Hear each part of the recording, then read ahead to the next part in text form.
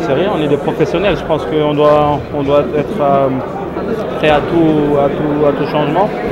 C'est dommage que Salif s'est fait mal, j'espère que c'est rien de grave.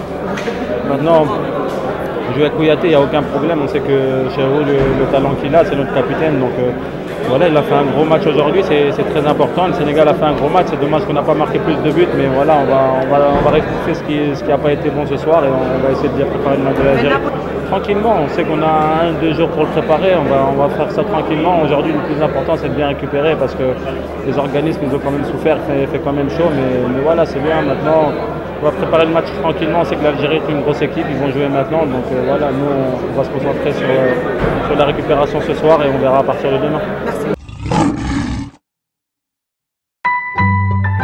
Orange.